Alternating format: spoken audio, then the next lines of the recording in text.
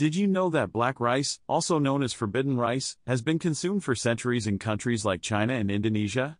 Not only does black rice have a striking color, but it's also packed with nutrients that make it a true superfood. Black rice is rich in antioxidants, which can help protect your cells from damage caused by free radicals. It's also high in fiber, which can aid in digestion and help you feel full longer. Plus, black rice contains iron, which is essential for transporting oxygen throughout your body. Incorporating black rice into your diet can help boost your overall health and well being. So, why not give this ancient grain a try? Add it to your salads, stir fries, or even enjoy it as a standalone side dish. Black rice is not only delicious but also incredibly nutritious. Try it out today and experience the benefits for yourself.